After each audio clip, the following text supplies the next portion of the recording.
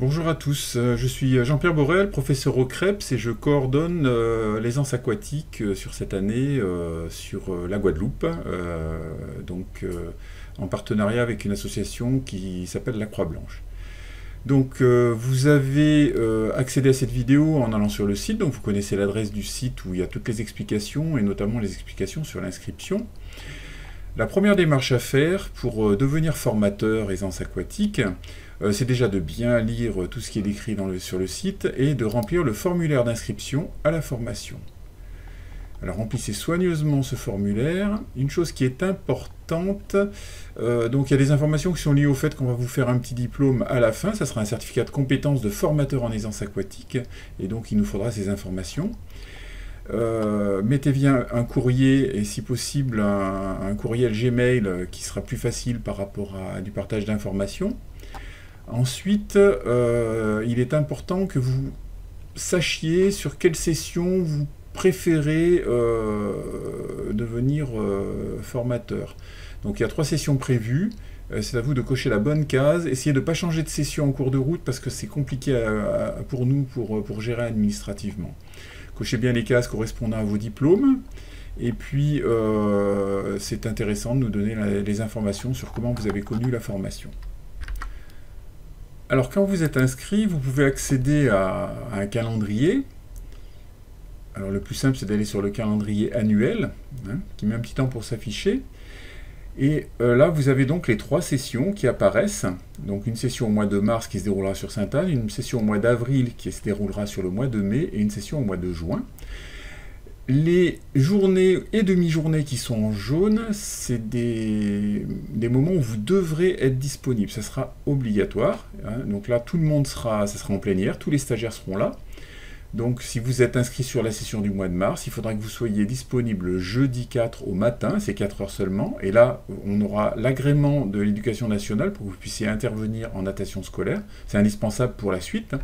Et ensuite une journée complète de formation avec les instructeurs euh, qui vous expliqueront la démarche et qui vous permettront d'être opérationnel euh, pour la pédagogie pratique. Et ensuite pour chaque euh, formation, donc la première, la deuxième qui se déroulera sur DE et la troisième qui se déroulera de nouveau à Sainte-Anne. Il y aura trois classes bleues, donc trois classes qui viendront et qui auront, euh, donc trois classes d'école maternelle, qui viendront et qui auront huit séances de, d'aisance aquatique en mer sur la plage de Sainte-Anne, ici, sur la plage de DE et sur la plage de Sainte-Anne. Les séances sur la plage de Sainte-Anne se dérouleront euh, en face du Contiki, sur l'extrémité de la plage. Hein, ce sera pas compliqué à trouver. Donc quand vous êtes inscrit, vous pouvez mettre sur vos agendas ces trois euh, journées, en fait deux demi-journées, parce que le bilan certification, euh, ça sera aussi une demi-journée. Euh, ces parties en jaune de l'emploi du temps obligatoire se dérouleront au CREPS, très certainement. Peut-être qu'il y aura une partie qui se déroulera sur des haies, on verra pour faciliter un petit peu les déplacements routiers. Et ensuite, vous avez une deuxième démarche, c'est de vous inscrire et vous avez à réaliser 16 heures de, pédagogie pratique, donc sur des classes bleues, et sur ces journées-là. Alors bien sûr, on a tenu compte des jours fériés, etc. Et pour ça, il faut que vous vous inscriviez. Euh, donc prenez votre agenda et vous allez aller sur un autre formulaire. Ce formulaire, c'est le positionnement sur les créneaux de pédagogie pratique. Et en remplissant ce formulaire, vous allez choisir les moments où vous désirez. Alors il faut bien sûr vous réidentifier pour qu'on sache qui a rempli. Et pour chaque session, Sainte-Anne, DE et en juin Sainte-Anne, vous avez les matinées et après-midi qui correspondent. Vous pouvez choisir. Au total, quand vous cochez une matinée, ça vous fait 4 heures de pédagogie pratique. Quand vous cochez l'après-midi, ça vous fait 2 heures. Donc si vous cochez une journée complète, ça vous fait 6 heures. Et vous devez avoir 3 journées complètes. Alors vous pouvez cocher 8 euh, après-midi ou, euh, ou 4 euh, matinées ou 3, 3 journées complètes. Voilà. Donc là, vous allez pouvoir vous positionner, envoyer le formulaire. Ne remplissez qu'une fois les formulaires. Ça ne sert à rien de les envoyer deux fois.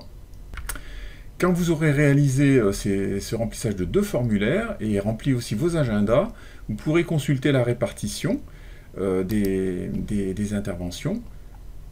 Ça se met automatiquement sur un tableau et donc vous saurez euh, si tout a bien été pris en compte. Donc si vous avez été inscrit directement parce qu'un instructeur vous a téléphoné, vous a positionné, vous n'apparaîtrez peut-être pas dans cette répartition, c'est pas très grave, l'important c'est que les agendas soient remplis et que vous soyez bien sur les, emplois du temps. Donc euh, l'emploi du temps type d'un stage de formateur, je vais vous l'expliquer un petit peu, hein. on a déjà vu un petit peu la trame. Donc on a un jeudi matin avec présentation, accueil et puis on va aller à la piscine, euh, ça se déroulera au Krebs où il y aura agrément par euh, un inspecteur qui viendra de l'éducation nationale et du, rectorat et qui euh, euh, vous, permettra de passer le test qui permet d'intervenir en milieu scolaire. Et ensuite, tout le vendredi, vous aurez des cours théoriques et des travaux pratiques à faire pour comprendre ce qu'est la démarche et puis comprendre votre rôle en tant que formateur. Et ensuite, on a les créneaux sur les classes bleues donc classe bleu 1, classe bleu 2 et classe bleu 3, deux classes le matin, une classe l'après-midi, et qui se dérouleront donc sur euh, deux semaines. Et la dernière matinée se déroule la semaine qui suit les, deux semaines de classe bleue, et ça sera un petit examen, et puis euh, une demi-journée de, feedback, de bilan, où on pourra répondre aux questions et, voir euh, la suite, comment ça peut fonctionner. Alors, quand vous serez en pédagogie pratique, ça sera des séquences de deux heures avec une classe bleue, et il y aura donc des temps de, une organisation avec euh, vous serez assisté par les instructeurs qui vous donneront des conseils pédagogiques et, qui vous permettront de progresser. Donc le reste est contenu dans, le site, hein. vous avez toutes les explications, euh, sur euh, ce qu'est l'aisance aquatique, des vidéos de présentation, enfin une vidéo de présentation globale, des questions-réponses, pourquoi devenir euh, un formateur en aisance aquatique, les certificats qu'on va donner aux enfants, on fera des petits diplômes, et c'est vous qui délivrerez les diplômes en fin de formation euh, à chaque enfant, selon leur niveau, il y a plusieurs niveaux, quatre niveaux. Le test d'aisance aquatique qui est le, niveau ultime et qui, est un test qui, est le, qui serait, pour ceux qui vont le réussir, leur premier diplôme, leur premier diplôme de, de, leur vie. Hein. Euh, des liens vers les sites officiels, sites ressources, une foire aux questions sur lequel j'essaye de mettre les, les, réponses aux questions qu'on me pose le plus souvent. Pour le moment, il n'y a pas grand-chose.